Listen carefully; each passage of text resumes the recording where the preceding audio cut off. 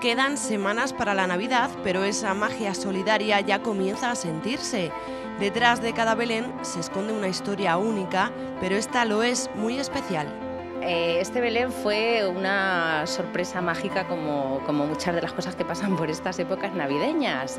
Eh, a raíz de Ana Belén, que es una mamá de Afanion, pues bueno, se puso en contacto Luis Mateo con, con ella y sabía que era una familia de Afanion, entonces le dijo que tenía un portal de Belén y que quería que fuera para nosotros, que quería que, que hiciéramos una rifa y que con su portal de Belén pues eh, se pudiera obtener algún beneficio para los distintos proyectos que llevamos a cabo en la asociación.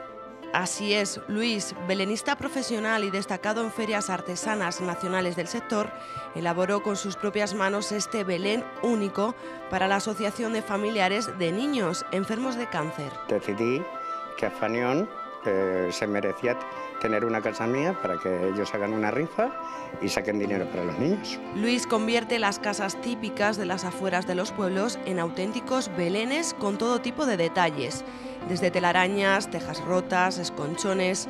Luis lo tiene claro, este Belén debe de ayudar a la lucha contra el cáncer infantil. Con esta donación que saquen un dinerito para ayuda para el cáncer y para los niños y, hombre, que saquen algo positivo, porque de hecho no es la primera, vamos, no va a ser la última, es la primera pero no la última. Yo les pienso donar una casa cada año.